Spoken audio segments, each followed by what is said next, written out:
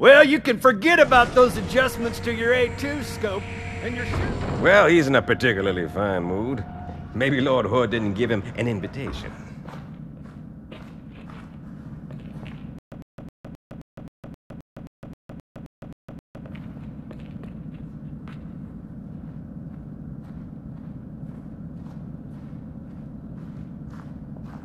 Earth. Haven't seen it in years. When I shipped out for basic, the orbital defense grid was all theory and politics. Now look, the Cairo is just one of 300 geosync platforms.